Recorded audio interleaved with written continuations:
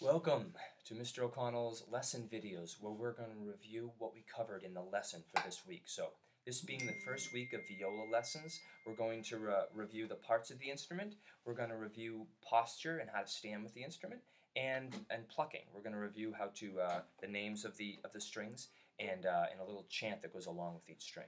So I'd like to begin with, the, with going over reviewing the parts of the instrument. The first uh, the first thing, this swirly thing on top is called the scroll. This is the neck, the body.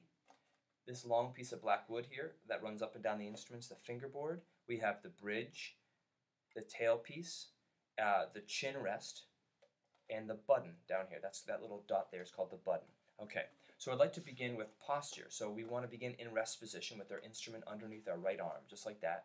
Scroll facing forward, bridge facing out away from you, okay?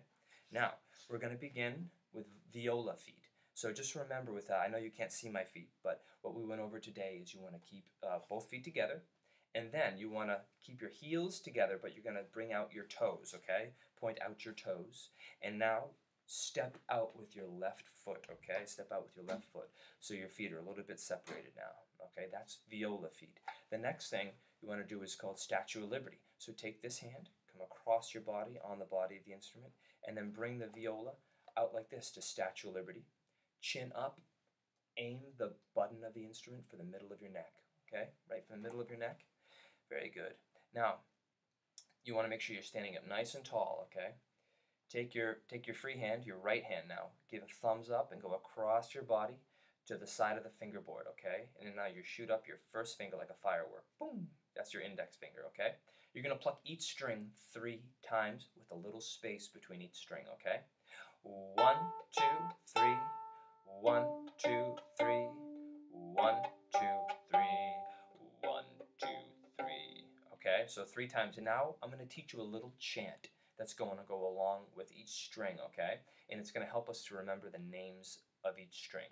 Now there's a, each string has a name and it's a letter, okay? So I'll teach you the chant first and then I'll then we'll rem remind ourselves the name of each string, okay? So it goes like this.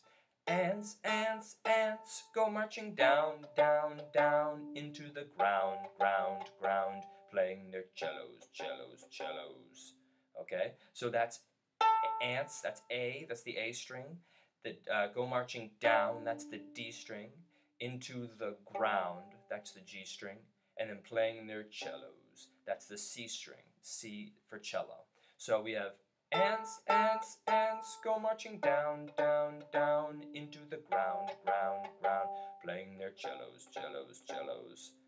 That's it. Excellent job. Now we're going to go back to Statue of Liberty, across your body, rest position. So that's it. That's it for this week. Um, I hope you enjoyed and uh, keep on working hard. I look forward to seeing you next week. Thanks very much.